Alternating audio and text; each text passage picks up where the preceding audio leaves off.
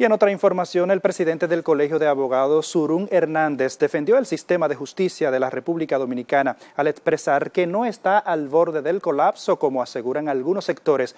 En una rueda de prensa para anunciar la realización de la primera jornada nacional de consultas tendentes a impulsar la reforma del sector justicia, Hernández llamó a trabajar por una buena administración de justicia aquí en el país. Continúa por ese camino que lleva ¿Va el derrotero? ¿Va a colapsar? Miren, en primer lugar, la justicia no va a colapsar. Nosotros estamos confiados en que el actual presidente de la Suprema Corte de Justicia, Mariano Germán, el magistrado procurador eh, Domínguez Brito, el presidente de la República, eh, la sociedad civil, los partidos políticos, están interesados en que haya una justicia independiente como me lo han expresado.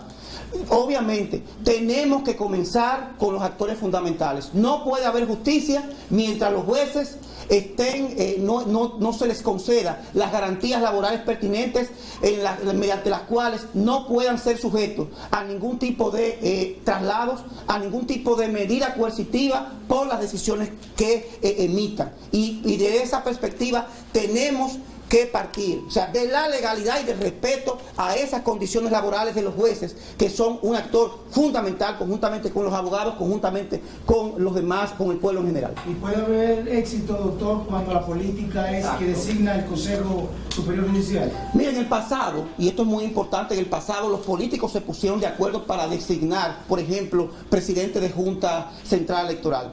Yo entiendo que en este momento todos los miembros de la Suprema Corte de Justicia, todos los actuales, que fueron nombrados por partidos políticos están conscientes y están en la disposición de trabajar de manera conjunta para que se eleven los niveles de confianza y eficiencia del sector justicia. No va a colapsar la justicia. Lo que tenemos que hacer, en primer lugar, es escuchar a la gente, escuchar los actores fundamentales, los protagonistas fundamentales y, en segundo lugar, partir de la premisa de que sin garantías para los jueces, sin garantías para los fiscales y sin recursos que lo va a conceder el poder político, no vamos a avanzar. Y en esa perspectiva yo considero que es fundamental el asunto de la, consulta nacional y del llamado a diálogo que estamos eh, emprendiendo en este momento y que vamos a participar en todo lo necesario para que la justicia, definitivamente en la República Dominicana goce con niveles de independencia, de imagen y de confianza para la ciudadanía que son tan necesarios en este momento.